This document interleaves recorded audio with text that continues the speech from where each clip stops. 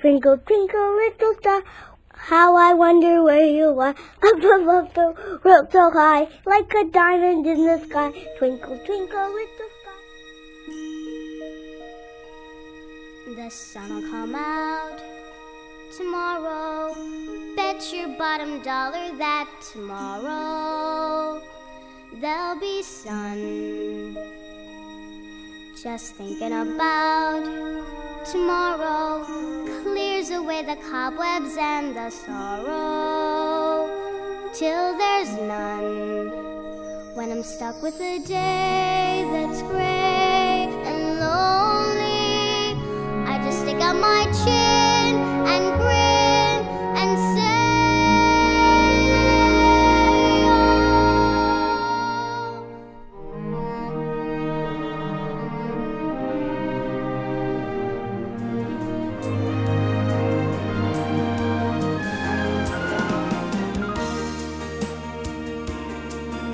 Today, when I awoke, I suddenly realized that this is the best day of my life. There were times when I and people around me wondered if I would make it to today. But thanks God I did. And because I did, I'm going to celebrate.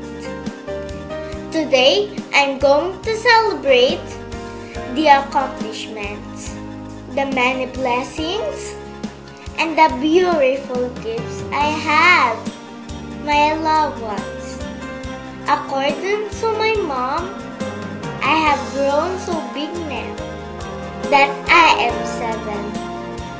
That says I would always be their baby. And you know what? It feels good. I will go through this day with my head held high with a happy heart. I will marvel at God's simple gifts. The morning dew, the sun, the clouds, the trees, the flowers, the birds. I am grateful for all the wonderful God has already given me. I will always remember that to worry for the things I don't have is just a waste of time because God loves me and ensures everything will be just fine. And tonight, before I go to bed, I will go outside and raise my eyes to the heavens. I will praise God for these magnificent treasures.